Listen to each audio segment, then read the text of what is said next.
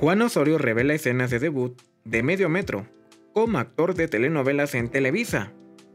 Juan Osorio fue el encargado de revelar que Medio Metro será parte del elenco de su nueva telenovela El Amor Invencible, cuyas imágenes de grabación del famoso bailarín la reveló en sus redes sociales. Pese a que primero el bailarín había informado que participaría en el programa La Rosa de Guadalupe, todo indica que Medio Metro iniciará su carrera como actor en la novela actual que transmite por el canal de las estrellas a las 9.30 de la noche. En las imágenes se aprecia el pequeño bailarín mostrando sus mejores pasos en la que parece ser una fiesta en donde otras personas también se divierten en una pista de baile.